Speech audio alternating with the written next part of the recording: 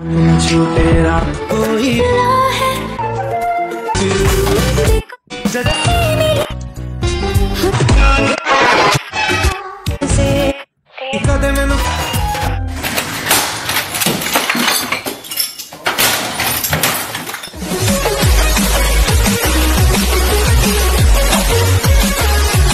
hey guys welcome back to my channel स्वागत है आप सभी का फिर से एक बार मेरी न्यू वीडियो में। आज हम बात करेंगे उन लोगों के बारे में जो जन्मों जन्म तक साथ रहने की कस्में खाते हैं और फिर जब दूसरा निब्बा या निब्बी मिल जाता है तो दो तीन आँसू भाकर ब्रेकअप कर लेते हैं। आप सभी ने शुरुआत में देख ही लिया होगा ये है आजकल के इश्क लड़ाने वाली लैला मजनू। उस उम्र में हम कॉम्प्लेन पीते थे उस उम्र में ये एक दूसरे के मुँह के कीटाड़ू पी रहे हैं। खुदा जानता है की मैंने सिर्फ़ तुझे प्यार किया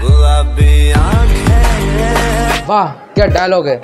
खुदा भी तुम्हारी सारी हरकतों को जानता हूँ, वो भी तुम्हारे लिए गर्म चिमटा लेकर बैठा एक बार एटीट्यूड तो देखो भाई का, चाहे सकल चाहे दो पैसे की क्यों ना हो, पर एटीट्यूड एक लाख रुपए का लेकर चलता है। जाने इन छपरियों को जीएफ कहाँ से मिल जाती है? जिन्हें खुद का होश नहीं रहता, वो जीएफ का क्या ख्याल रखेंगे? बालों के तो क्या ही कहने, हर समय इनके बाल फ्लाइंग डाइनिंग में खाना खाते रहते हैं। इन छपरियों ने तो फ़ैशन के नाम पे टट्टी हक रखी है। कपड़ों के तो क्या ही कहने, पता नहीं कौन सी दुकान की कतरन उठा के लाते हैं। और सबसे ज़्यादा तो गुस्सा इस बात पे आता है, इन लोगों ने दो तीन लाख की केटीएम की तो कोई इज़्ज़त ही नहीं छोड़ी है। कभी कभी तो यही लगता है मुझे कि केटीएम का शोरूम इन्हीं ने खरीद रखा है। अब इन चूतियों की इतनी चूतियापंती बढ़ गई है कि अपने स्क्रीनशॉट लेके एल्बम ही बनवा लेते हैं जिससे अपने बच्चों को दिखा सके। बेटा ये देख लो तुम्हारे बाप की कारनामे नहीं है। Didn't take very long after meeting you for me to make a I love you ओए पागल है क्या? एक थप्पड़ पड़ेगा ना सारी का ठिकाने आ जाएगी। अरे इतना तो मैं सोच के आया हूँ। प्लीज़ मारो मारो। बेटे, बाप, पहले तो तुम लोगों ने मौजी कर दी। और सड़क पर कोई लौंडा पीट जाए, फिर तो तुम गीदड़ों की गैंग लेके चलते। और यहाँ तो बड़े शौक से ही खुद पिलवा रहे हो। तुम जैसों को तो धोबी के कुत्ते कहते हैं ना, घर के ना घाट के बार इस लड़की को देखो, मारने के बाद कैसे हंस रही है। अगर वो साला पलट के मार देता ना तो इसकी सात पुस्तक ढेरी पैदा होती। अगर वो साला कुत्ता ही ना होता तो मानना क्या उसे हाथ तक नहीं लगा सकती थी इजहार से नहीं, इंतज़ार से पता चलता है कि मोहब्बत कितनी गहरी इस वीडियो को देखने के बाद तो मैं सभी लौंडों से यही राय दूँगा चाहे तुम क्लास के बाहर खड़े रहो या बैच के बाहर। एक न एक दिन फल तुम्हें ज़रूर मिलेगा। खामोश लग रहे हो। नहीं मिली ना मेरे जैसी। इस वीडियो के देखने के बाद मैं इस लड़की की बात से फुल सहमत हूँ क्योंकि जो खुद नाक के कीड़े चाट चाट कर गोरी हुई टट्टी जैसे लड़की को चुपकाने के बाद मालदीव की फीलिंग आती हूँ। ख्याल रखा करो अपना।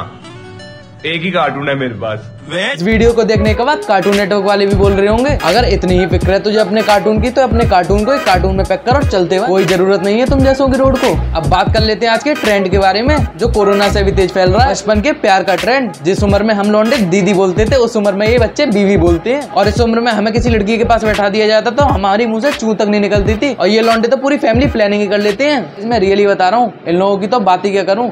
मेरा ही साला बचपन का प्यार कोई और ले गया है।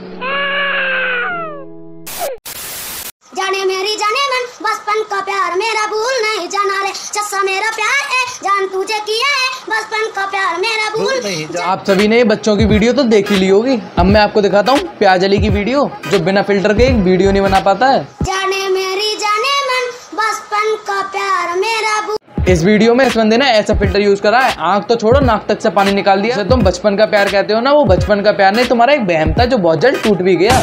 अगर रियाज अली को इतना ही पानी पीने का शौक है तो मेरे घर पे आ जाए इससे ज़्यादा तो मेरा कुत्ता ही मुद देता है। गाइस एक लास्ट बात. आज तक आप लोगों ने मेरी वीडियो में कभी रियाज अली का नाम नहीं सुना होगा कि हर दूसरी लड़की का क्रश रियाज अली है. जब इनके क्रश को मैं रोस्ट मारूँगा, तब इनके क्रश को मिक्सर ग्राइंडर में क्रश करूँगा. तब उसके बाद रोस्ट मार. यहीं खत्म करते हैं फिर इस वीडियो को. मिलते हैं नेक्स्ट वीडियो में. अगर आपको ये वीडियो पसंद आई हो तो लाइक करिए कमेंट करिए शेयर करिए. फिर मिलती है नेक्स्ट वीडियो में. तब तक के लिए बाय टेक केयर जय श्री राम.